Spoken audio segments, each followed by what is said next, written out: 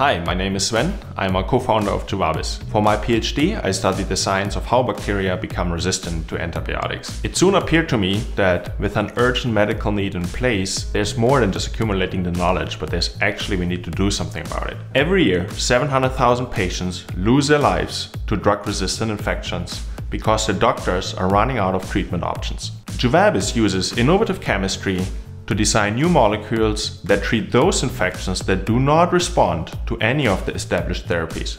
It is really about patient safety and providing drugs to the doctors that work. We managed to secure generous funding that helped us to establish a robust proof of concept in animals and develop one of our first molecules all the way up to clinical trials. In the next six months, we are going to commence a human trial that will allow us to subsequently perform a proof of concept study in humans. Juvabis offers an outstanding investment opportunity. We're going to close a 2 million funding round in 2019. We invite investment funds and industry partners to join us in our mission, bringing better drugs to physicians and to patients.